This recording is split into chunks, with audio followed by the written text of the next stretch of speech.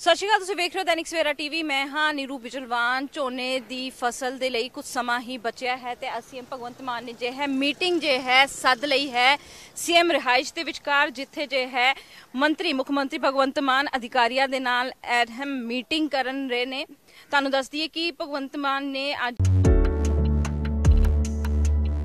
ਮੁੱਖ ਮੰਤਰੀ ਭਗਵੰਤ ਸਿੰਘ ਮਾਨ ਦੀਆਂ ਕੋਸ਼ਿਸ਼ਾਂ ਸਦਕਾ ਹੁਣ ਪੰਜਾਬ ਦੇ ਲੋਕ ਸਰੀਰਕ ਤੰਦਰੁਸਤੀ ਪੱਖੋਂ ਜਾਗਰੂਕ ਹੋ ਰਹੇ ਨੇ। ਇਹੀ ਕਾਰਨ ਹੈ ਕਿ ਸੂਬੇ ਦੀਆਂ ਪਾਰਕਾਂ 'ਚ ਰੋਜ਼ਾਨਾ ਸਵੇਰੇ ਸ਼ਾਮ ਲੋਕ ਯੋਗਾ ਕਰਦੇ ਦਿਖਾਈ ਦੇ ਰਹੇ ਨੇ। ਪੰਜਾਬ ਸਰਕਾਰ ਵੱਲੋਂ ਸ਼ੁਰੂ ਕੀਤੀ ਸੀਐਮ ਦੀ ਯੋਗਸ਼ਾਲਾ ਜਨ ਮੁਹਿੰਮ ਬਣ ਗਈ ਹੈ। ਇਸ ਮੁਹਿੰਮ ਤਹਿਤ ਪੰਜਾਬ ਭਰ ਦੇ ਜ਼ਿਲ੍ਹਿਆਂ 'ਚ 3000 ਤੋਂ ਜ਼ਿਆਦਾ ਯੋਗ ਕਲਾਸਾਂ ਚੱਲ ਰਹੀਆਂ ਜਿਸ ਦੇ ਵਿੱਚ ਰੋਜ਼ਾਨਾ 80000 ਤੋਂ ਵੱਧ ਲੋਕ ਯੋਗਾ ਕਰ ਰਹੇ ਨੇ।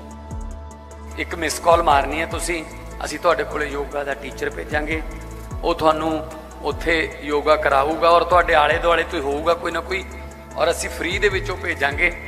ਤੇ ਤੁਸੀਂ ਮਹੀਨੇ 2 ਮਹੀਨੇ ਤੁਸੀਂ ਆਪਣੇ ਸਿਹਤ ਪੱਖੋਂ ਵੀ ਫ਼ਰਕ ਨਜ਼ਰ ਆਊਗਾ, ਕਿਉਂਕਿ ਅਸੀਂ ਚਾਹੁੰਦੇ ਹਾਂ ਕਿ ਪੰਜਾਬ ਸਿਹਤਮੰਦ ਰਵੇ। ਮੁੱਖ ਮੰਤਰੀ ਭਗਵੰਤ ਸਿੰਘ ਮਾਨ ਦਾ ਮੰਨਣਾ ਹੈ ਕਿ ਇਸ ਸਮੇਂ ਦੀ ਲੋੜ ਹੈ ਕਿ ਨਾ ਸਿਰਫ ਚੰਗੀ ਸਿਹਤ ਬਣਾਈ ਜਾਵੇ, ਸਗੋਂ ਉਹਨਾਂ ਲੋਕਾਂ ਨੂੰ ਤਣਾਅ ਤੋਂ ਵੀ ਦੂਰ ਕੀਤਾ ਜਾਵੇ, ਜਿਨ੍ਹਾਂ ਨੂੰ ਆਪਣੇ ਜੀਵਨ 'ਚ ਹਰ ਰੋਜ਼ ਅਨੇਕਾਂ ਚੁਣੌਤੀਆਂ ਦਾ ਸਾਹਮਣਾ ਕਰਨਾ ਪੈਂਦਾ ਹੈ। ਮੇਰਾ ਨਾਮ ਕਮਲਜੀਤ ਸਿੰਘ ਹੈ। ਅਸੀਂ ਪੰਜਾਬ ਸਰਕਾਰ ਦੇ ਬਹੁਤ ਹੀ ਧੰਨਵਾਦੀ ਹਾਂ ਜਿਹੜਾ ਉਹਨਾਂ ਨੇ ਨਵਾਂ ਉਪਰਾਲਾ ਸੀਐਮ ਦੀ ਯੋਗਸ਼ਾਲਾ ਸ਼ੁਰੂ ਕੀਤੀ ਹੈ, ਜਿਹਦੇ ਨਾਲ ਕਿ ਮਨ, ਤਨ ਸਾਰਾ ਸਵਸਥ ਰਹਿੰਦਾ ਹੈ। ਅਜਿਹੇ 'ਚ ਮੁਫਤ ਸੀਐਮ ਦੀ ਯੋਗਸ਼ਾਲਾ ਲੋਕਾਂ ਲਈ ਕਾਰਗਰ ਸਾਬਿਤ ਹੋ ਰਹੀ ਹੈ।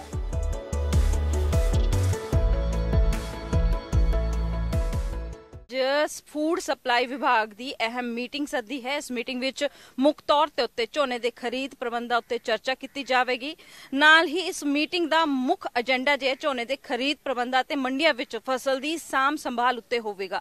1 ਵਜੇ ਦੇ ਕਰੀਬ ਦਾ ਸਮਾਂ ਦਿੱਤਾ ਸੀ ਤੇ 1 ਵਜੇ ਦੇ ਕਰੀਬ ਜੋ ਹੈ, ਇਹ ਮੀਟਿੰਗ ਜੋ ਹੈ, ਸ਼ੁਰੂ ਹੋ ਚੁੱਕੀ ਹੈ। ਇਸ ਤੋਂ ਪਹਿਲਾਂ ਤੁਹਾਨੂੰ ਦੱਸੇ ਕਿ ਕੇਂਦਰ ਸਰਕਾਰ ਨੂੰ ਵੀ ਚਿੱਠੀ ਲਿਖੀ ਸੀ ਐਫਸੀਆਈ ਨੂੰ ਚਿੱਠੀ ਲਿਖੀ ਸੀ। ਸਟੋਰੇਜ ਨੂੰ ਲੈ ਕੇ ਪ੍ਰੋਬਲਮਸ ਆ ਰਹੀ ਸੀ ਕਿ ਪੁਰਾਣਾ ਝੋਨਾ ਜੇ ਸਟੋਰੇਜ ਦੇ ਵਿਚਕਾਰ ਪਿਆ ਹੋਇਆ ਹੈ, ਉਹ ਖਰਾਬ ਹੋ ਜਾਏਗਾ। ਹਜੇ ਤੱਕ ਕੇਂਦਰ ਸਰਕਾਰ ਵੱਲੋਂ ਜੋ ਹੈ ਉੱਥੇ ਉਠਾਇਆ ਨਹੀਂ ਗਿਆ ਹੈ ਲੇਕਿਨ ਇਸ ਮੀਟਿੰਗ ਦੇ ਵਿਚਕਾਰ तमाम ਝੋਨੇ ਦੀ ਫਸਲਾਂ ਨੂੰ ਲੈ ਕੇ ਸਾਰੀ ਗੱਲਬਾਤ ਹੋਵੇਗੀ ਤੇ ਸਭ ਤੋਂ ਵੱਡੀ ਗੱਲ ਹੈ ਕਿ ਸਾਮ ਸੰਭਾਲ ਤੋਂ ਰੱਖਣੀ ਰੱਖਣੀ ਹੈਗੀ ਕਿ ਆਉਣ ਵਾਲੇ ਦਿਨਾਂ ਵਿੱਚ ਇਸ ਵਾਰ ਮੀਂਹ ਬਹੁਤ ਜ਼ਿਆਦਾ ਹੋਇਆ ਹੈ ਤੇ ਇਸ ਵਾਰ ਝੋਨੇ ਦੀ ਫਸਲ ਜੇ ਹੈ ਉਹ ਵਧੀਆ ਆ ਸਕਦੀ ਹੈ ਕੈਮਰਾਮੈਨ ਆਨੰਦ ਦੇ ਨਾਲ ਨੀਰੂ ਬਿਚਲਵਾਨ ਦੈਨਿਕ ਸਵੇਰਾ ਟੀਵੀ ਸਤਿ ਸ਼੍ਰੀ ਅਕਾਲ, ਤੁਸੀਂ ਵੇਖ ਰਹੇ ਹੋ ਦੈਨਿਕ ਸਵੇਰਾ ਟੀਵੀ। ਮੈਂ ਹਾਂ ਨੀਰੂ ਬਿਜਲਵਾਨ। ਝੋਨੇ ਦੀ ਫਸਲ ਦੇ ਲਈ ਕੁਝ ਸਮਾਂ ਹੀ ਬਚਿਆ ਹੈ ਤੇ ਅਸੀਂ ਭਗਵੰਤ ਮਾਨ ਨੇ ਜੇ ਹੈ ਮੀਟਿੰਗ ਜੇ ਹੈ, ਸੱਦ ਲਈ ਹੈ।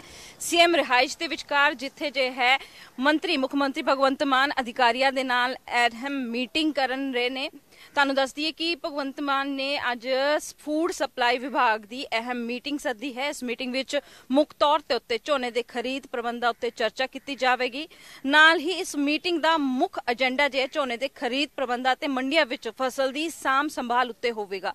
1 ਵਜੇ ਦੇ ਕਰੀਬ ਦਾ ਸਮਾਂ ਦਿੱਤਾ ਸੀ ਤੇ 1 ਵਜੇ ਦੇ ਕਰੀਬ ਜੋ ਹੈ, ਇਹ ਮੀਟਿੰਗ ਜੋ ਹੈ ਸ਼ੁਰੂ ਹੋ ਚੁੱਕੀ ਹੈ। ਇਸ ਤੋਂ ਪਹਿਲਾਂ ਤੁਹਾਨੂੰ ਦੱਸਿਏ ਕਿ ਕੇਂਦਰ ਸਰਕਾਰ ਨੂੰ ਵੀ ਚਿੱਠੀ ਲਿਖੀ ਸੀ ਐਫਸੀਆਈ ਨੂੰ ਚਿੱਠੀ ਲਿਖੀ ਸੀ। ਸਟੋਰੇਜ ਨੂੰ ਲੈ ਕੇ ਪ੍ਰੋਬਲਮਸ ਆ ਰਹੀ ਸੀ ਕਿ ਪੁਰਾਣਾ ਝੋਨਾ ਜੇ ਸਟੋਰੇਜ ਦੇ ਵਿਚਕਾਰ ਪਿਆ ਹੋਇਆ ਹੈ ਉਹ ਖਰਾਬ ਹੋ ਜਾਏਗਾ ਹਜੇ ਤੱਕ ਕੇਂਦਰ ਸਰਕਾਰ ਵੱਲੋਂ ਜੋ ਹੈ ਉੱਥੇ ਉਠਾਇਆ ਨਹੀਂ ਗਿਆ ਹੈ ਲੇਕਿਨ ਇਸ ਮੀਟਿੰਗ ਦੇ ਵਿਚਕਾਰ तमाम ਝੋਨੇ ਦੀ ਫਸਲਾਂ ਨੂੰ ਲੈ ਕੇ ਸਾਰੀ ਗੱਲਬਾਤ ਹੋਵੇਗੀ ਤੇ ਸਭ ਤੋਂ ਵੱਡੀ ਗੱਲ ਹੈ ਕਿ ਸਾਮ ਸੰਭਾਲ ਤੋਂ ਰੱਖਣੀ ਰੱਖਣੀ ਹੈਗੀ ਕਿ ਆਉਣ ਵਾਲੇ ਦਿਨਾਂ ਵਿੱਚ ਇਸ ਵਾਰ ਮੀਂਹ ਬਹੁਤ ਜ਼ਿਆਦਾ ਹੋਇਆ ਹੈ ਤੇ ਇਸ ਵਾਰ ਝੋਨੇ ਦੀ ਫਸਲ ਜੇ ਹੈ ਉਹ ਵਧੀਆ ਆ ਸਕਦੀ ਹੈ ਕੈਮਰਾਮੈਨ ਆਨੰਦ ਦੇ ਨਾਲ ਨੀਰੂ ਬਿਚਲਵਾਨ ਦੈਨਿਕ ਸਵੇਰਾ ਟੀਵੀ देश दुनिया की हर खबर सबसे पहले देखने के लिए फॉलो करें Dainik Savera TV YouTube Facebook Instagram X और व्हाट्सएप चैनल पर।